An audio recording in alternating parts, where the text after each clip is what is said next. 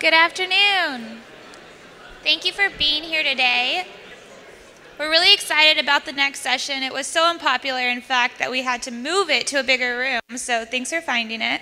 Um, really quick, a housekeeping item. We are going to be a what having a what you need to know session in Salon C downstairs at 6:30. So if this is your first time to South by Southwest, definitely check that out for tips and suggestions for the rest of the event. And now, please join me in welcoming to the stage for this session Alex Hardiman, Brian Stelter, Sara Fischer, and Steve Rosenbaum. Greetings.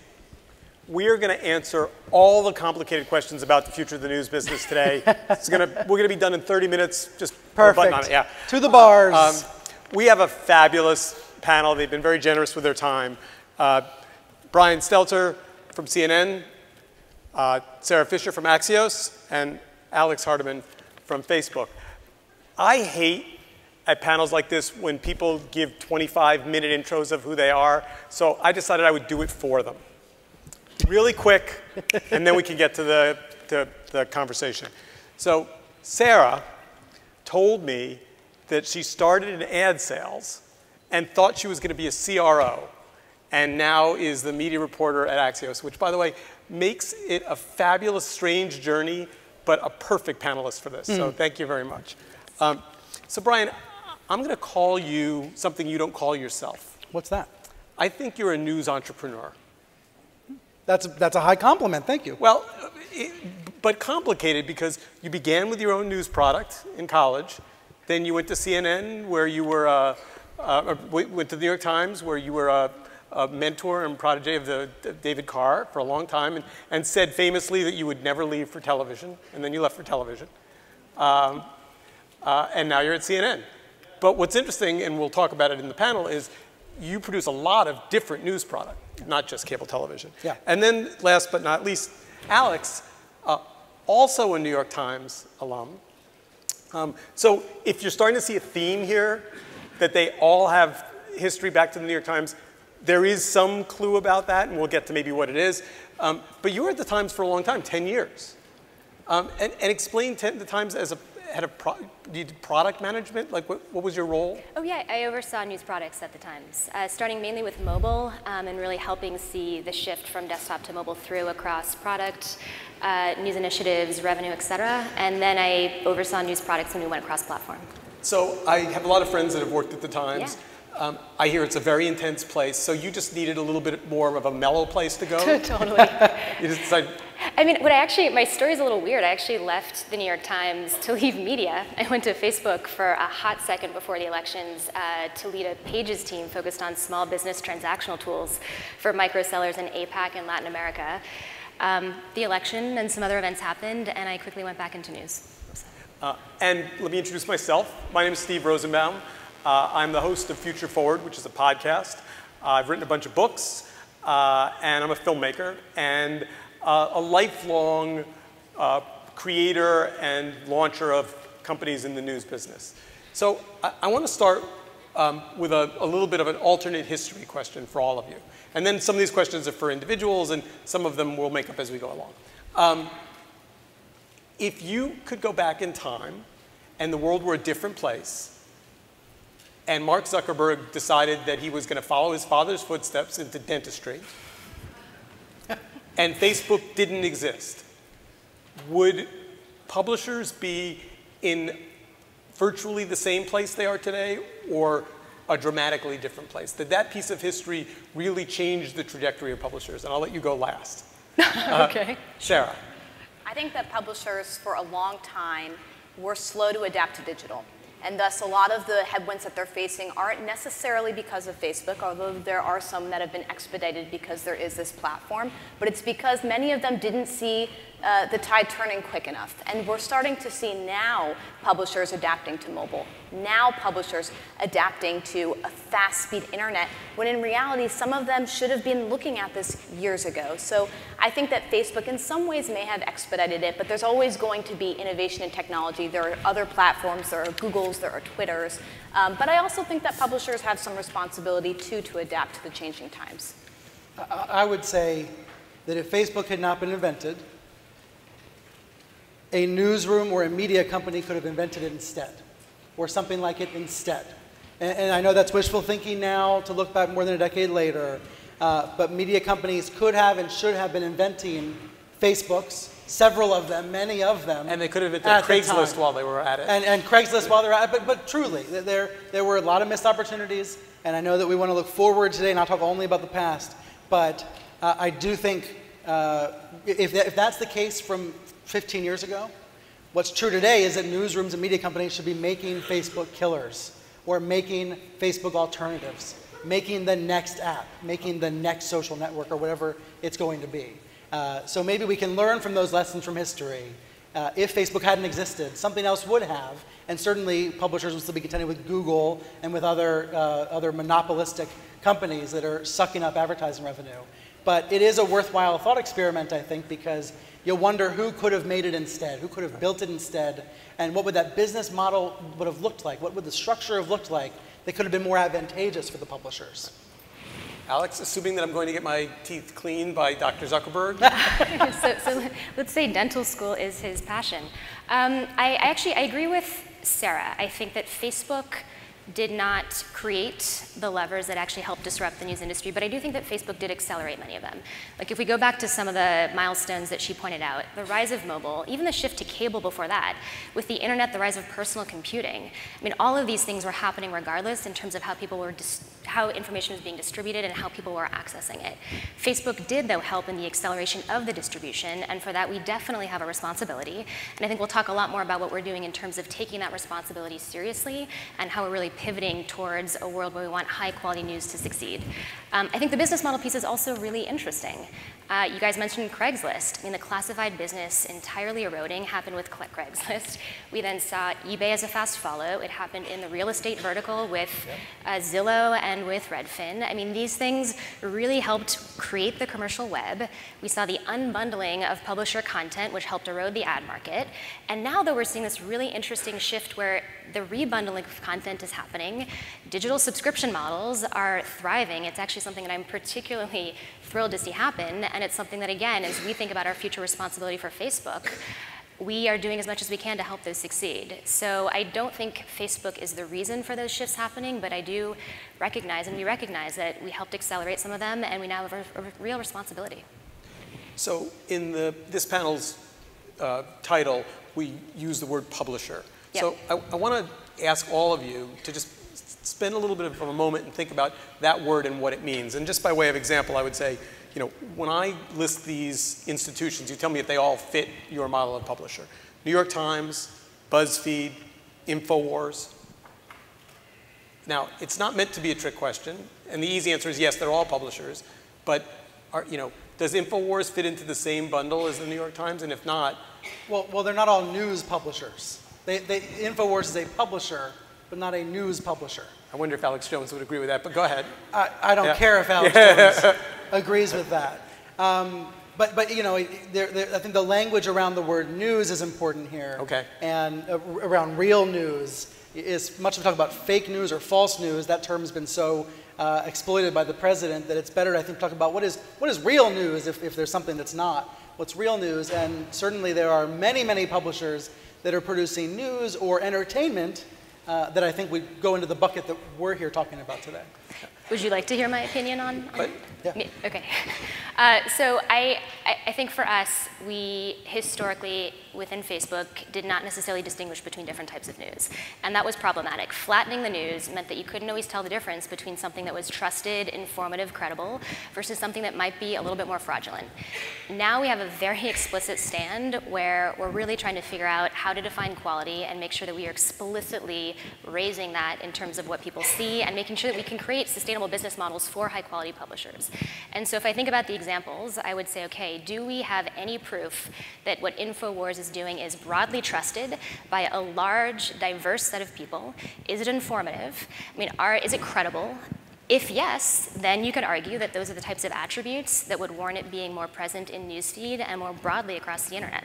If it's not, if it uses tactics like misinformation, uh, spreading viral hoaxes, clickbait sensational stuff, that's what we are deliberately deprioritizing right now.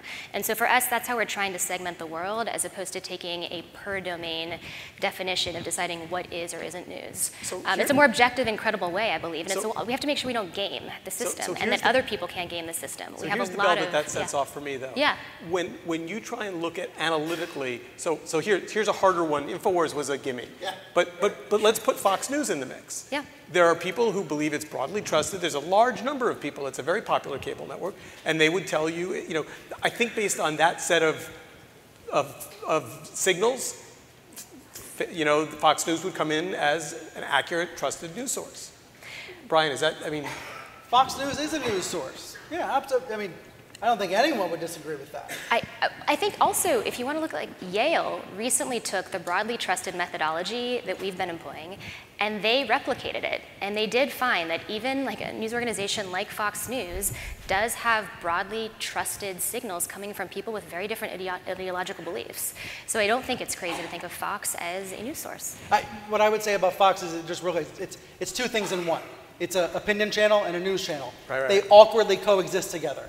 Uh, and I think one of the one of the improvements of Facebook I've seen that I've appreciated recently is this little uh, circle with a question mark on some of the articles, some of the news articles that are posted, to let you see more about who is this publisher, Wh- where do they come from, uh, what is their bent.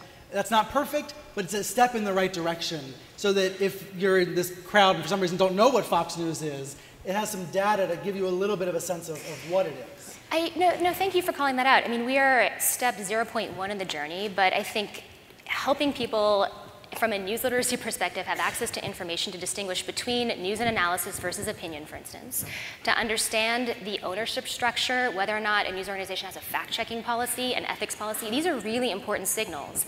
And we're working with third parties like the Trust Project to make sure that we can pull this in and that people can help make really smart decisions about what to read, what to comment on, what to share with their friends and family. Um, we have to do as much as we can to really differentiate different types of news and make sure that quality thrives. So, in a year, Facebook went from, we didn't have anything to do with the election, that's ridiculous, which was the original, to, I, I think, a, a pretty public statement on Mark's part that actually, you know what, we've taken a hard look at it, we've seen the data, we have to actually really fix it. That was, a, I mean, that's, that's not a, that wasn't a little journey he took. That was a, a big journey and has been pretty impactful, I assume, on your sleep habits and, you know, you know, uh, there was an article in the Atlantic about a, a survey which I hadn't seen, but you had, about that essentially said bad news, fake news is shared much more widely than accurate news, and that's not a Facebook problem. Like, Yeah, to be fair, that was a study of Twitter. was this, yeah. Yeah. But, But yes, yes. but, but it was this. So, is, is this really a losing battle we're fighting? Is it really? Are, are we going to solve it? I, I don't think It it's was a, Twitter. do- I don't think it's a losing battle, but I think it's a really hard one. I mean, even if we, you know, I'm going to be a little hard on Facebook right now. If we look at what Facebook traditionally rewarded in newsfeed, it was information that played well around raw engagement and clicks. And the stuff that does well tends to be emotionally charged, polarizing, divisive. These are deep problems. So this is why it has been a year of deep reflection. Mark came out and really talked about his year of 2018 being about fixing Facebook. And it starts with actually, in many ways, reducing time spent so that the time that people spend is really well spent. And that means that we are going to be prioritizing or deprioritizing news that might have actually increased time spent because it has the properties of being more sensationalist and more emotionally divisive in favor of high quality news. And that's a really, really big shift. And I think anyone who's watched Mark take a stand in terms of his annual priority. I mean, think about when he decided the company was going mobile first. He is pouring investments in. I am gold on it. All teams are gold on their ability to really make sure that integrity issues are fixed to the best possible extent, and that from a news perspective, we're really elevating quality. News that is trusted, local, informative, and really stuff that you can trust. So I'm going to switch back to this publisher question for a second. So Sara, talk about your role. The daily newsletter, when, when does it come out? How does it get written? How many people work on it? Do you have a team of 30 people? He's smiling, so the Uh, answer well, I'd say my team is my entire uh, company Yep. because there's not a single product that ever is made by one individual, and Every single person from our ad ops team to our executive editors helps inform what I write about. Uh, it comes out once a week every Tuesday. It's about media. Um, but I'd say just taking a step back from Axios and back from me, one of the things that we've learned in dealing with platforms like Facebook or Google or Twitter is that they've done a really good job of creating products that can serve consumers really well, where they are on their phone in real time, no latency problems. And we as publishers recognize that with newsletters, we can actually get to our consumers in a very similar, efficient way. And that's why we've decided to allocate a lot of resources to them. Um, going back to your question about what is considered a publisher, though, one of the things I thought was so interesting is that it used to be that only media companies, for the most part, were making ad revenue. And now, like Kroger is a grocer, is creating an ad network. Almost any company that has captivated time and attention can make money off of your time and attention. And this has been the great change, I think, of the 21st century in publishing. Brian, I want to talk about your editorial output. So I, I said to you in the green room, you know, I quote watch your show every week, except I don't. I listen to it as a podcast. Um, I read your newsletter every day, although I'm, I'm somewhat baffled by the volume of things you produce. But let me, let me start with an easy question. When Okay. CNN offered you the job, did they say, we want you to do a weekly television show and a second podcast and a daily newsletter, or was that your idea? Uh, no, it, it, it was originally a two-legged stool. It was a show on Sunday and write stories for the website. Uh, and it's become a four-legged stool. And I, I launched the newsletter because, uh, I mean, do you want to, I mean, can, be, can I be honest? I, I, I wanted to do the newsletter because lots of people would say to me, Brian, I, do you miss writing stories for the New York Times? And I would say, I write stories every day for CNN. Uh, you know, look at this website. This website has thousands of stories on CNN.com. Uh, but I understand the New York Times has a certain prestige people associate with it. Uh, the newsletter was a way for me to send my stories to everybody, right? To get in inboxes. And increasingly, I think a lot of us in this crowd are feeling that those sorts of old fashioned delivery systems uh, have a lot of use.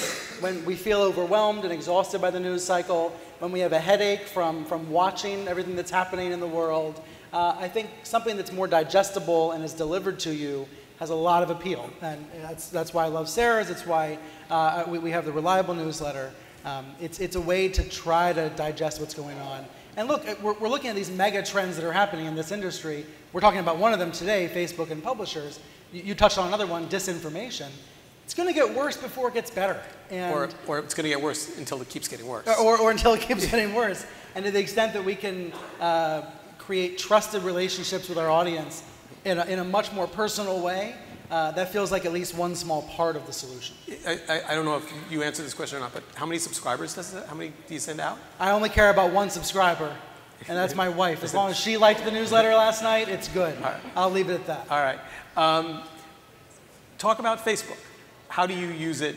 You communicate on it when your show's live. You go on and say, "How am I doing?" Right. Yeah. I mean, I use it like an amateur. I use it like a lot of people. I'm overwhelmed by Facebook these days. I don't know what Facebook is anymore. I know what it started as. I know what I used it for in college. I don't know what to do with it these days. And uh, I'm, I'm fascinated by the evolution we've seen in the past year. You know, the way that you talk about trust and quality, Alec, it, it's extraordinary how far Facebook's come in the past couple of years in the way it talks about news and talks about uh, quality in, in the news feed. I think a lot of us think the company has a long way to still go to walk the walk, but the talk has changed, and we're seeing some very uh, clear attempts at improving what's on Facebook. So you said something. You said, "Yeah, "I use it as an amateur."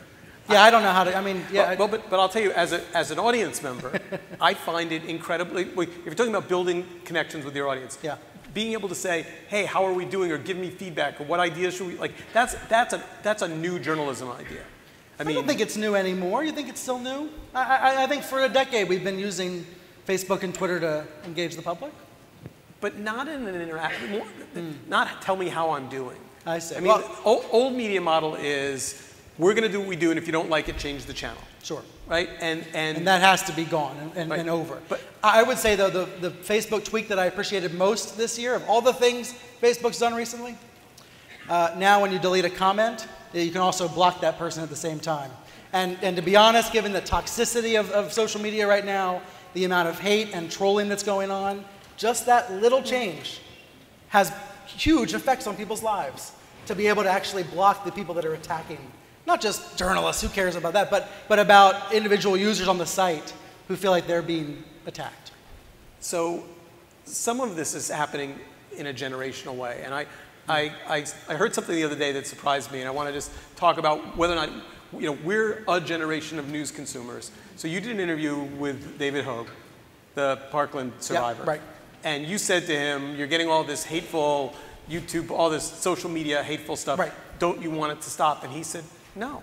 I'm thankful for it. Yeah. He said, I'm thankful But, but you it. seem some, like it kind of caught, like it caught you a little like you were expecting that he was going to say yeah we have to like he's not part of this whole stop the bad social media thing. Yeah, he has much thicker skin than I do, or that I think many of us do. He was saying he was grateful for their uh, attacks and it, because it was giving him even more attention, drawing even more attention to his cause. It was somehow kryptonite. It's like it was Right. like yeah no it was he was using it as power and it made me think that all of our conversations about how to stop it like there might be you know if you talk to younger consumers they'd say stop what we just we listen you know it's all noise. Well, I also think too we come at it from adults.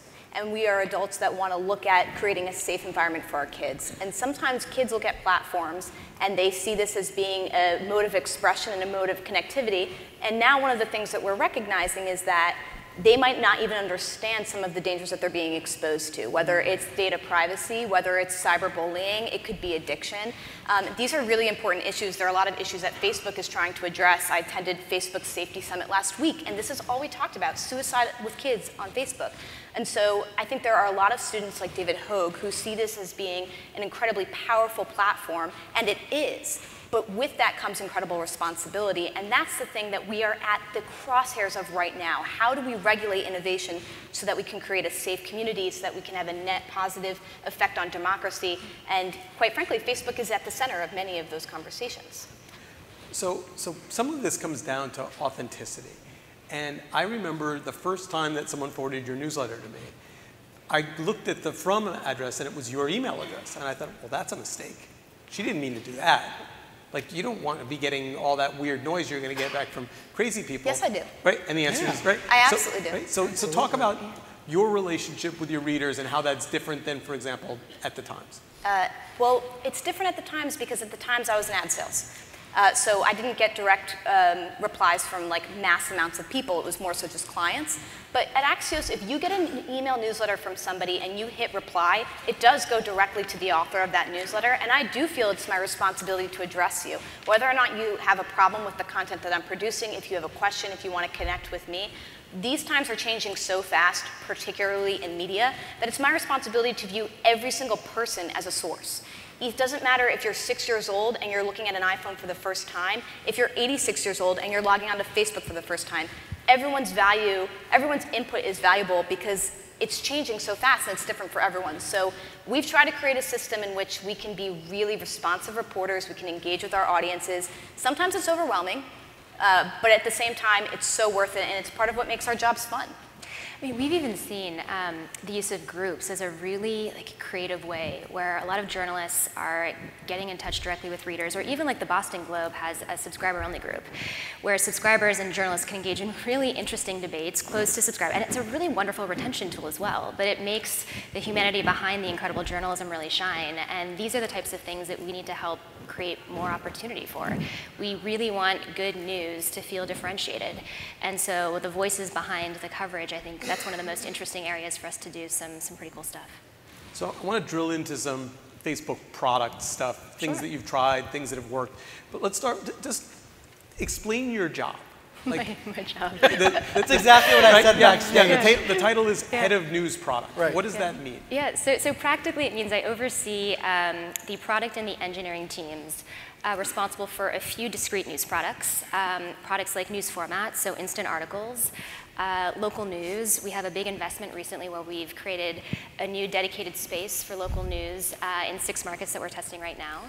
Um, a lot of work on credibility. So the, thing, the weird thing about Facebook is that you sometimes own very clear products, and then other, in other ways you own almost like a layer that you need to integrate across other surfaces or parts of Facebook. And credibility is one of them. So I really work with uh, a lot of internal teams like Newsfeed to make sure that any signals of quality can be applied to really good news. Um, I work on a news ranking team, so a lot of what we've recently announced, the changes to make sure that we can identify and promote quality news in feed, requires a lot of different methods. And so we really try to identify and uprank uh, good stuff. And then we also have monetization, which is obviously incredibly important for publishers. And we not only look at advertising, but also subscriptions is one of the really big investments for us. And we want to make sure that we can create great moments for the business models that tend to help quality journalism thrive.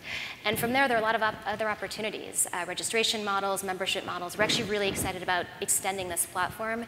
We know there's not one size fits all, and we think there's a lot of great work we can do this year. So let's talk about the, the news tab experiment. So we didn't see it in the US, and I, there may have been some screen grabs. Explore? What? Yeah, Explore. Explore, yeah, the right. second tab? Yeah. Yeah, So that came and went. Yep. And so that means that experiment didn't succeed. correct. What were, the, what were the things you were measuring that made you decide it didn't work? Yeah, I mean, the, Facebook experiments a lot. I would argue that for this experiment, we probably didn't communicate intent uh, very clearly up front. But the key thesis was whether or not people would find it more valuable, um, sort of similar to Snapchat, to have your friends and family content in one space and your public content from the pages you follow and news organizations in a second space. And we tested it out and we heard overwhelmingly from people that they did not prefer that world. They wanted everything to be directly within Newsfeed. The idea of combining personal and public content was the thing that actually helped them get better time spent with Facebook. Um, and so we we heard loud and clear, and then we disabled the experiment. So this is the question that I always have wanted to ask Facebook. Okay. So if I'm the customer Yeah. and I'm a news junkie and I like Brian's stuff and I like a bunch of I like Sara and I why what why would it not be a better product with a slider that says more of that or less of that? What, like, why is it every change is going to come from the top down and be delivered across all of the customers? Yeah, so I think consumer control is actually one of the big um, areas for us to invest this year. There are some controls that you Yes. have where you can decide what you want to see first, um, but I think there's a lot more that we can do. There are a lot of preferences. This definitely caters more to a power user. Um, I mean, all of us, we probably see a lot more news in our news feed than the average person, um, and so we're definitely not the majority use case. Um, but for anyone, they should have better access and control to what they see when they see it. Um, we're, we're working through a lot of interesting ideas. It's 2 billion Over 2 billion monthly uh, actives, yeah. I- You know, I just think about what kind of a restaurant I would run if I had to serve meals to 2 billion people. Because taste's really different around the world. I, I I agree. I mean, that is what uh, one of the things that keeps me up at night is making sure that we are building products that scale and preserve diversity, and that means a lot of things. Um, it means scaling to different types of news organizations, so traditional, digital first, large, local. Um, making sure that internationally we have solutions that are either regionally specific or sometimes broad and can scale at the platform level. Um, it's, it's legitimately tough, um, but that's why we need to be very, very thoughtful about how we define quality and build products that do work uh, in all of these different contexts.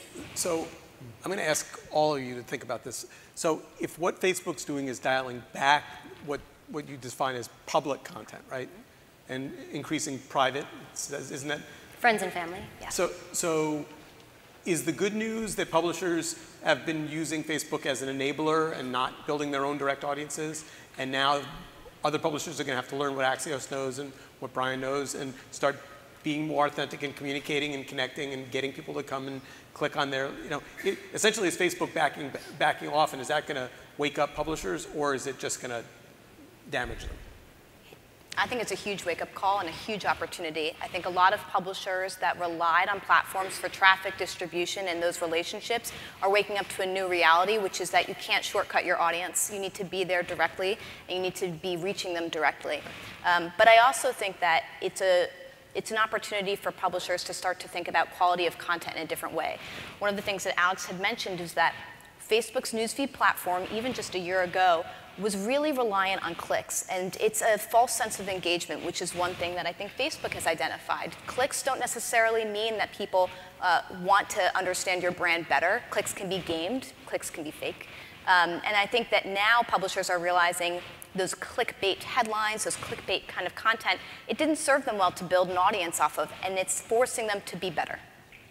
So you're not a, you're not sympathetic. I got a bunch of emails when people knew I was moderating this panel about little things that and you know, and we just we just wrote a story the other day. Cox's uh, conservative network Rare also you know went out of business and uh, might be in large part due to the Facebook algorithm. I think one thing to think about in sympathy is that you have executives, Campbell Brown, the head of Facebook's uh, journalism project, said this the other day, which is that Facebook could have been more transparent around experiments and tests.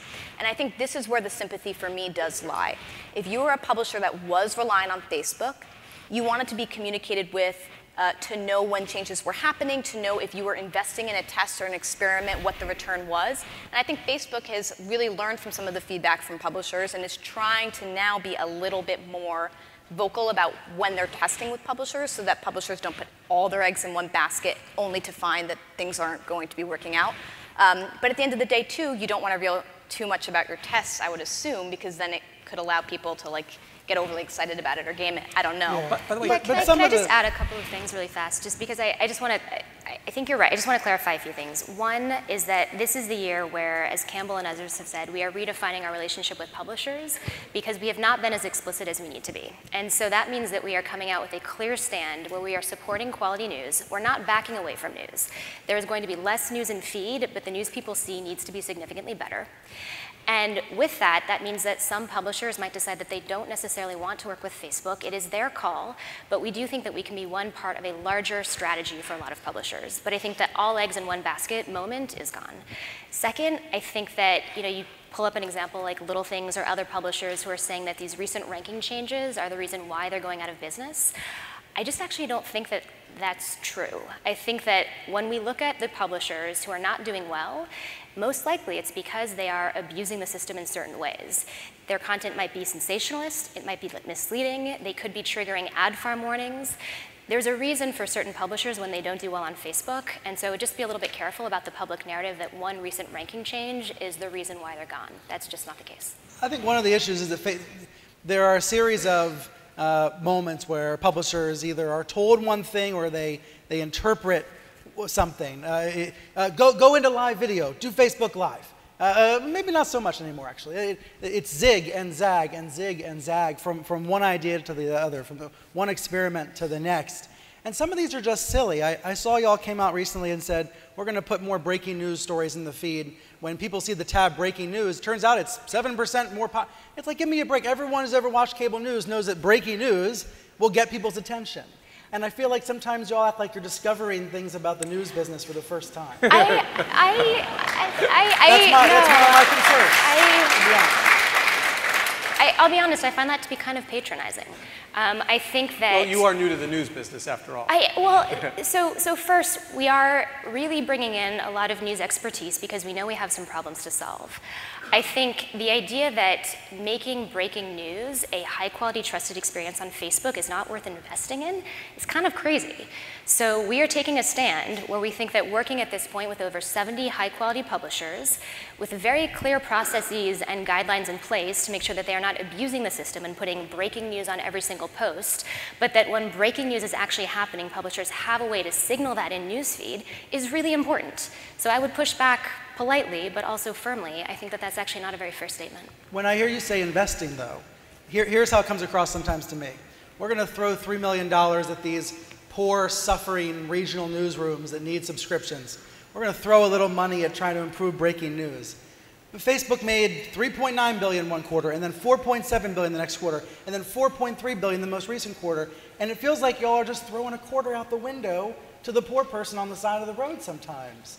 The, the, the idea that Facebook has this responsibility, having gobbled up billions of advertising revenue from a lot of different places, uh, shouldn't we have a bigger conversation about Facebook paying more directly for some of the journalism that's out there, some of the So- quality journalism that you all want to see? So let me, let me, a couple of I don't have the answer, but Yeah. shouldn't we talk about that? I, I, I think we should absolutely be talking about these things. Listen, as we are making the shift to quality, everything is on the table. We are having very active conversations with a lot of publishers, with a lot of academics, with a lot of experts in the space. I don't Look, have I'm an not asking announcement. to get your checkbook out today. No, I'm saying, I, oh, I'm saying I don't have an announcement to make, Yeah. but I just think that I want to better contextualize some of the good work that we really are trying to pilot to better understand how we can help create sustainable business models on Facebook. So- so you mentioned, just really fast, you mentioned a $3 million investment. That's a local subscription accelerator with 12 publishers, and it's meant to help identify and solve for problems unique to their businesses so that they have a sustainable way to generate subscriptions on or off Facebook. It's not about peddling Facebook products. It's about making sure that we can come up with best practices with the Lenfest Institute, with the News Media Alliance, with a bunch of others that we can then help share across local news organizations. If this works, you can imagine applying it to a lot of other problems that we need to solve. All right, And but- to be clear, wait, wait, I'm rooting for I'm rooting for Wait, you. wait, on wait, but yeah. I want to understand that product Yeah. because it's. I, I read everything I could and it didn't make sense to me. Okay. Is the subscription you're selling a, that I'm going to buy the local print newspaper? Okay, two, two, two totally different things. Okay. So we have a subscription accelerator, which has nothing to do with the subscriptions product that we have out right now. The subscriptions accelerator is working with 12 local news organizations in the US right now, and we are identifying problems that they want to solve and bringing on coaches and other experts to help them solve that over the next three months. Separately, we have a subscription product that's in alpha on iOS and Android. So for publishers who do want to try to sell subscriptions through instant articles, in addition to those who already sell on their own websites, they can do that. And with that model, 100% of the revenue, customer data, the whole transaction is a part of the publisher's site because that was one of the really important requirements. We want to enable direct relationships between publishers and their audiences. So it's not putting lo- local news behind a paywall on Facebook. No, we have some local news organizations who are participating in the subscriptions alpha, but that's because for them it's really important that they figure out how to improve conversions and retention. And we're working to understand best practices with them. But the accelerator is a separate program meant to understand how we can solve larger problems around subscriptions at the local level. So, so one of the things I think that maybe the, the, the world we now live in makes this a sidebar question, but I've noticed a lot of feeds in my feed, of articles in my feed are now increasingly showing up behind a paywall. So it used to Right. just be the Wall Street Journal. Right, right. And people share it, and it looks like it's got a headline. I want to click on it. I click it. Whoop. Okay, I'm not a subscriber. That starts to be a problem for Facebook if three out of ten times I can't get the thing that you're presenting to me as if I can get it, which would be one reason to get out of the news business. Well, or, or conversely, Facebook's got my credit card number. When I hit the Seattle Times paywall, take 10 cents out. Yep. And don't ever, you know, just frictionless. Facebook could help with that. And I, I that's something, it- something that's on the uh, uh, table. Is micropayments a conversation? I, I'll be honest, in asking publishers, that's not what they want. We worked on this model directly with publishers, and they said the idea of unbundling our model and micropayments is not something that we're interested in. It really devalues their own product. And they also wanted to make sure that they could own 100% of the revenue, the transaction itself, and the customer data. Um, so that was, an, we built the requirements based on the conversations with publishers through our Facebook journalism project. I mean, I mean, to be fair, the music business didn't want to sell singles either, and Jobs just elbowed them out of the Well, way. I, I thought it was interesting this week. Face, uh, the AP expanded its partnership with Facebook on fact checking and said it's going to work in all 50 states to fact check lies related to the midterm elections. And Facebook's paying, the, I mean, according to Facebook PR, Facebook's paying directly to the AP for that. And I, I guess I think to myself, you're in the news business now, right? You're a news company if you're, if you're paying for fact checking. Is that, is that a fair? Is this the platform versus publisher question? Yeah, probably is. I, I just think that a binary are you or are you not a news company is not a very productive way to be framing the conversation. I think for us it's about our responsibility. And what we've said is our responsibility is to minimize the bad and get rid of misinformation, false news, clickbait hoaxes. That's where fact checking is incredibly important.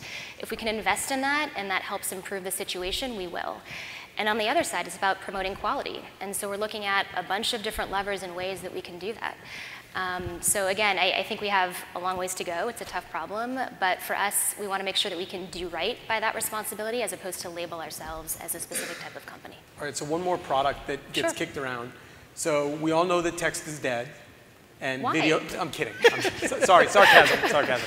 But, but vid, every, video, pivoting the video, video, video, video, video. Yeah. So Mm, I don't know about that. I'm not suggesting, I'm, I'm, it's, we'll get to the end of the premise in a second. So, the, so moving news to Watch, to Facebook Watch. First of all, I'm not sure a lot of people know what Watch is, but what is the news on Watch project? Where is it? Is it, is it going to be the better solution to this? How does it work? Yeah, so just to fill everyone in, we have a second tab called Watch, um, which has shows, which is more of a kind of repeatable, retentive viewing experience um, for longer form video. And Campbell Brown uh, just last month announced that we're going to include more news and Watch. And the truth is we're actually still figuring out exactly what that should look like. We're talking to a lot of publishers. Uh, we want to make sure that we understand the use case, how to help create more meaningful relationships between publishers and their audiences. There are a lot of different things that we're exploring. We just don't have the details yet. But I would think of it as something that is an additional moment for publishers to build relationships with their audiences beyond what we're trying to do in Newsfeed. So a lot of what it is is about helping make sure that the discovery of quality news is better. Uh, for video, that happens in Newsfeed. For a place to consume longer form content, that could theoretically and should happen in Watch. We just have to make sure that we can set it up in a way that's truly valuable to high quality publishers. And then there are other surfaces and other products around local groups and kind of community based moments where we also think we can do a lot and where video can and should play a role. But it's still a little bit too early to talk about the specifics. We're really working through them right now. So I, I think given the brain power we have on this stage and the issue that's floating in the air, we'd be remiss if we didn't talk about the midterms. Yeah. Um, so let's just start with the obvious question. Uh, Russian trolls and fake news, problem solved. We've figured out how to tag them and they're done, or we're like losing sleep over it right now. Um, I, I, would say we've, we've got our work cut out for us, but actions probably speak louder than words, and we're making some good progress. I mean, there unfortunately is no silver bullet. We are working uh, with some very sophisticated foreign states who are trying to intervene in pretty extreme and, and interesting ways. Um, but if we actually look at what happened last year in 2017, uh, elections in France, uh, in Germany, and Italy, uh, there was a lot that we were able to learn from the 2016 elections that we were able to apply forward, removing fake accounts, bots, viral hoaxes, and other things that actually helped preserve the integrity of those elections. So we are really, I mean, more than tripling and quadrupling down on that investment, uh, but there is no silver bullet. So everything we do around removing any financial disincentives continues to be important. Again, removal of fake accounts, uh, making sure that on the ads transparency side, a lot of what was announced announced uh, late last year is rolled out in a timely fashion. These are all really important efforts. Uh, but we have a lot to do, and we are really invested and committed to this. It's deeply important. So, Brian, you're smart. You seem to understand these things. Like, are, are, the Republicans just building better bots than the Democrats? The I can't understand. Are the Russians just wanting to mess everything up? They seem to be on all sides of all issues. Like, where, where does this bot feeds to the social network problem? Like, can, is there a root to that, or I'm going to plead ignorance on the bot wars a little bit. uh, I, I, think the, the, U.S. government has made clear they wanted the Russians wanted to sow division and chaos by playing both sides in some cases, while also expressing a support for, for the Republican candidate in 2016. But going back to it gets worse before it gets better, I, I think we have to take that approach. And I, I, like Alex, I like that you said we've got our work for, we've got our work cut out for us. I think that's true for newsrooms as well. This is a space where Facebook and the new and the, and the publishers are, are, are aligned uh, to try to clean up the poison uh, that, that is so prevalent on the web. You look at Parkland, you look at some of the conspiracy theories that spread. It doesn't take Russian bots uh, to do damage. Sometimes it's our own uh, neighbors that are doing that kind of damage. And I think that's a, that's a space for platforms and publishers to work together. I mean, I think that the danger for 2018 and moving forward is that fake news is evolving. Right. It used to be, especially during 2016, that bad actors sought to sow discord or make money. We saw troll farms in Florida that were producing uh, stories on the right and the left just to game the system, get engagement, get ad revenue. Um, but they were doing it through stories. Then if you took a look at like Pew polling, it said most Americans can identify a fake story. They know what a fake URL looks like. They know when it's not the same tone of the New York Times or CNN or Axios. The problem is that the public and many of these companies don't know what a doctored photo is, or a doctored video is like, or what happens when you manipulate a headline. This is the future of fake news that should be most concerning for 2018. I think we've kind of figured out how to squash some of the financially driven fake news stories in Facebook and other platforms. It's the way that we are going to manipulate real news that's the next big threat. And I think, uh, quite frankly, there's a lot that can be done to combat this through machine learning and AI, but technology is always going to be there for bad actors to abuse, and getting ahead of it is going to always be our biggest challenge. So, so, I have to tell you, I did a TED talk about fake news, and one of the things that I believe really strongly is that people have to take responsibility for what they share. And at least once a day, someone who's a friend of mine will republish something that I check and find out is absolutely fa- fake. And sometimes they'll take it down, but as often as not, they'll say to me, people can tell. Like, it's, it's a parody, or it's satire, or I, and I'm like, no, take it down. When you find out it's fake, don't replicate it. But I do think that there is not an understanding of the seriousness of what happened. It isn't the first piece of fake news that's the problem. It's when someone you trust repeats it and they repeat it. Yeah, but Facebook made a choice to allow you to post that link to your wall. That's a fundamental choice. And right? How, how could they stop it? They have, how could they stop it? They run the software, they run the code. If they didn't want you to post that link, you wouldn't be able to post that link. I'm just pointing out that there are I'm fundamental gonna, I'm, I'm going to let Alex answer that because I'm not I sure understand, I understand that y'all aren't going to go into that. I understand What? that Facebook is all about posting whatever you want. But let's just recognize that the, the software, it, you're talking about virality, you're talking about a fake story being spread by lots and lots of people. Well, they're doing that using these sites. Let's just recognize that up front. That's a choice we've all made as a society well, to allow that. So let's say that the first article is a satire. Sure. And then it gets repeated, but they, the person who re- links it changes the headline for their own friends and, and makes it less clear that it's a satire. And then it gets repeated again. I'm not sure where along the way Facebook should stop. I, I agree. I think it's incredibly complicated. It's too complicated to address here. All right. Let me give you the best example that's affected me. I had a fake story written about me. The first paragraph was real quotes, the rest was fake quotes. I hardly knew what was real and what was fake. I had a hard time telling the difference. And, and I can't Wow. expect an algorithm or a Facebook uh, uh, moderator to know the difference. It is going to get a lot worse. But I, I just want us to recognize that we've, we've, we've all bought into this by using these sites.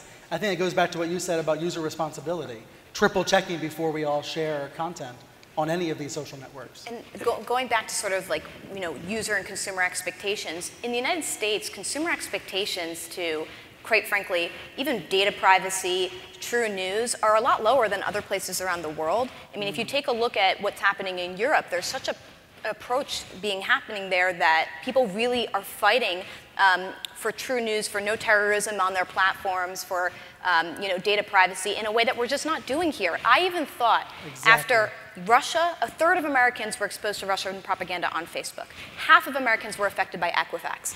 I expected this to be the year that Americans woke up and said, we need to do something about this.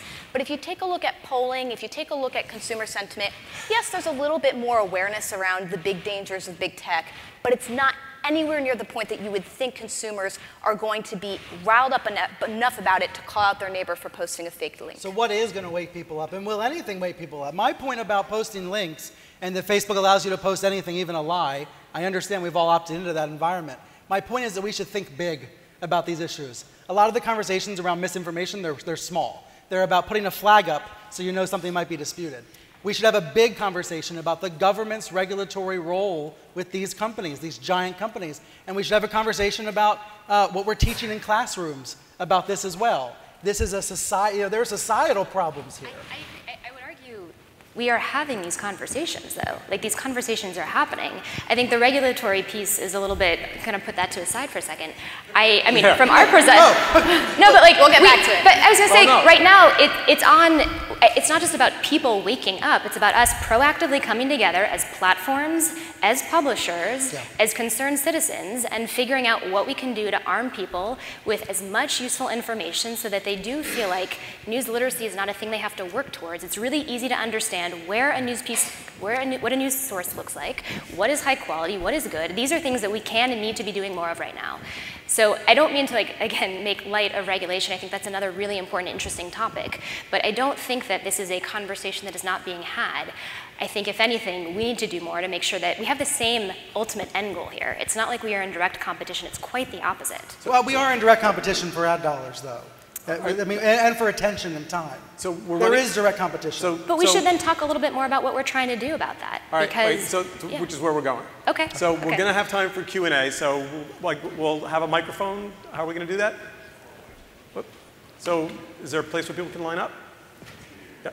But before we do that, last question, and the one that I promised I would ask because I think it's important. Yeah. We spent a lot of time looking in the rearview mirror about what happened badly in the last year. Yeah. Talk a little bit about where things are going. What are the things you're working on that you think are going to take Facebook in a good direction? The big thing is, yeah, so I mean, if I, if I try to judge whether or not we're successful by the end of the year, I think there are a couple of things. Um, first, even if the overall volume of news is going down on Facebook, we need to radically mix shift so that the news that people see whenever they do see it is high quality. That's number one.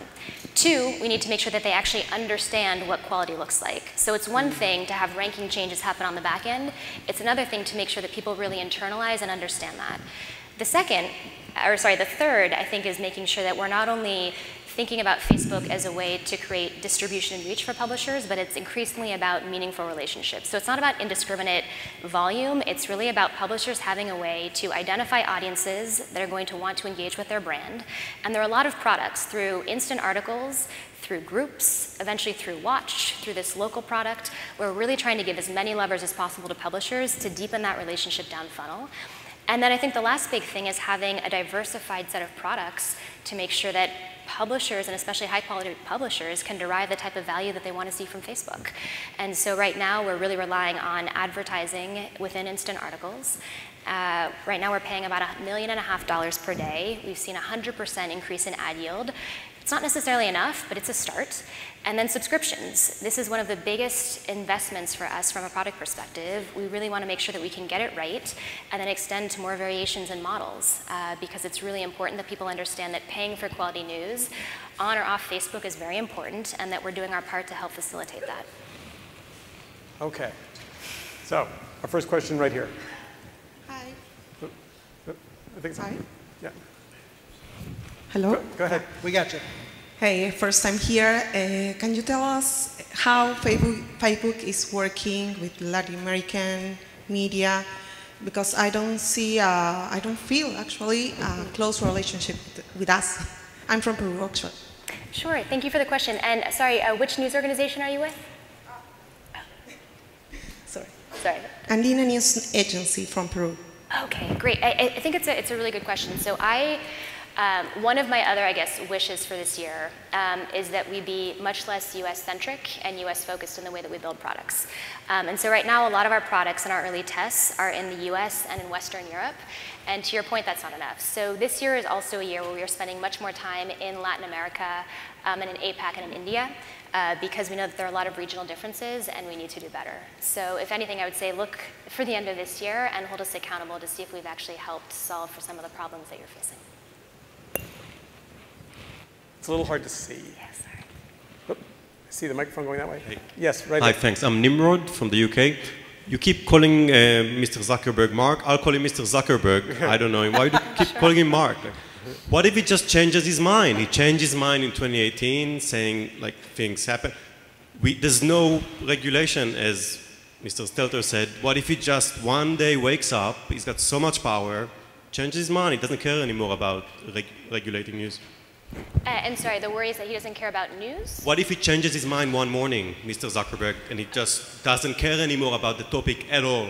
He doesn't care anymore. About the news topic specifically? Yeah. specifically? Yeah, so I mean, if we actually want to play this out, let's say, just theoretically, Mark decided, you know what, my life would be so much easier. I would avoid congressional hearings if I just removed all of news from Facebook. We're still waiting for him to show up to a congressional hearing, by the way.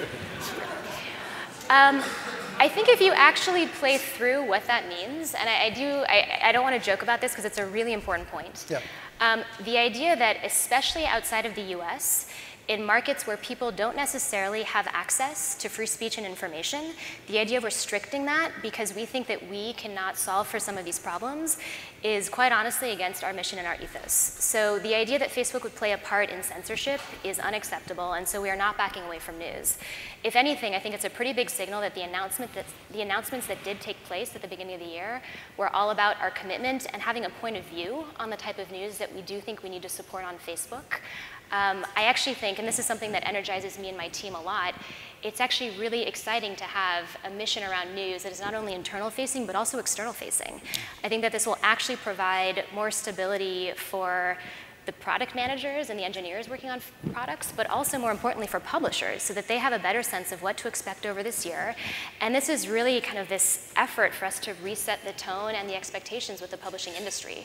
We are trying to be increasingly collaborative and increasingly transparent. Um, and I think that that's why when we say putting all of your eggs in the Facebook basket is probably not the right thing to do, we mean it. We can be one important part of your strategy, but we should not be the only part of your business going forward.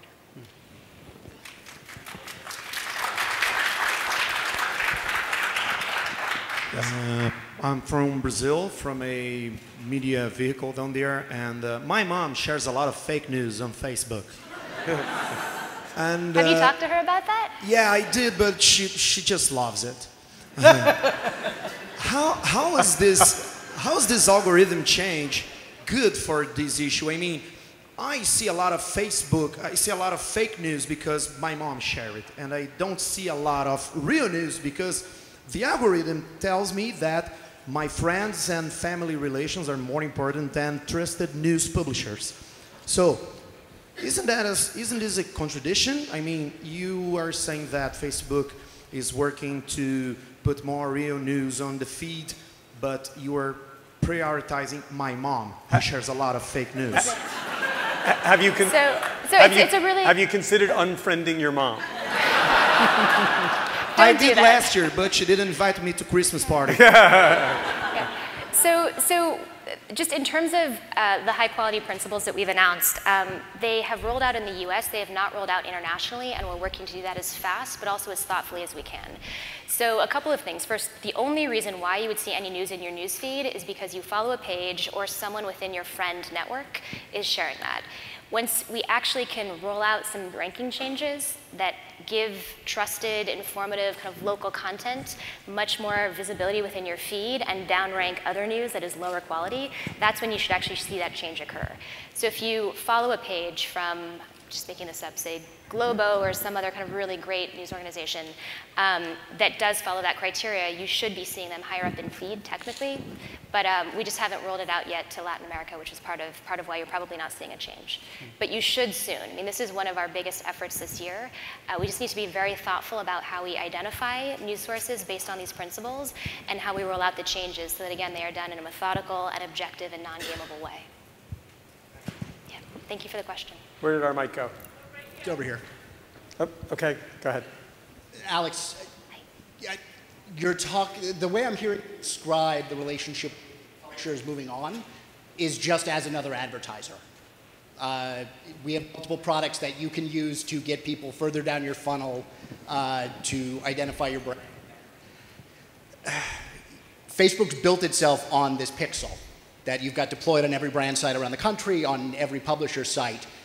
Are you working with publishers to give us better access to the data that you're amassing in that pixel? Can you just say who you're with? Uh, Josh Rubin with the Daily Dot. Yeah, so, so the, the products that we're working on with publishers specifically, um, there, there are a couple of different things.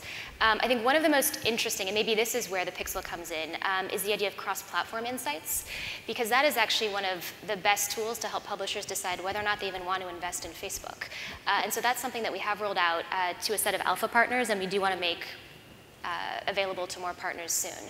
Because then you basically, as a publisher, know what your audience looks like on your own property, on Facebook, what the overlap looks like, and whether or not you actually want to invest. And that is actually, I think, one of the best ways for publishers to make a decision about what they want to do. Um, there are a bunch of other tools around access, control, and transparency that we're working on as well, uh, especially in feed, so that hopefully over the course of the year, publishers have a better sense of how their organic content is performing and what they can do to make sure that their content strategies and even the type of content that they seed into Facebook is yielding the type of results that they want. Um, so I hope that answers your question. I mean, there, data is, there's so many different ways to slice and dice, but if there's a specific product, find me after and I'd be happy to talk to you. All right, we have time for one more. Oh, no pressure. Yeah. Last person. Right here. Hi there. Um, I'm actually now uh, Lance Ulanoff, an independent journalist. But um, uh, can you say that Facebook, Alex, in the future will no longer try to steer publishers towards the type of content that they believe will work for audiences? Uh, I'm just wondering about the discussions that happened after the sort of uh, the li- Facebook Live meltdown, where Facebook was paying publishers to do a lot of video content every month, pushing them really hard, literally changing strategy every single day. But you keep talking about helping publishers understand the kinds of content that will work with audiences. But are you finished telling publishers the kind of content they must do to work with Facebook? Yeah, I, I, I think when I look at this year, uh, we want to make sure that publishers have more visibility into how their content is performing and that we're being a partner to help figure out the products that they want to see wrapped around their content on Facebook. So I don't think it's about us having a bunch of let's say, the next five versions of Facebook Live, uh, we're really looking for longer term, more sustainable products where publishers are increasingly in control of what they distribute and how they monetize it. Um, I don't have a specific product kind of in mind to point to from that perspective, but I think we're really trying to enter an era of, um, quite honestly, like long-term viability as opposed to a bunch of quick hits from an, exper an, experimentation perspective. That said, we do experiment a lot with publishers. We just want to be very clear about sometimes the nascency of these experiments, and we find that some publishers are very eager to get on board and try, and other publishers prefer to take a wait-and-see approach, and that's totally fine. We just want to make sure that we're increasingly transparent about the process. So, we are out of time. I have two very important closing thoughts. One, Sara's newsletter every week is fabulous. You should subscribe to it. Brian's daily newsletter is also fabulous. You should subscribe to that as well. They're focused and thoughtful and thank pithy you. and consumable, and they will make you smarter. I want to thank, thank Facebook for coming and for Alex for sharing the time. And I think the next year is going to be really important and exciting. Thank, thank you. you all very, very much. Thank you.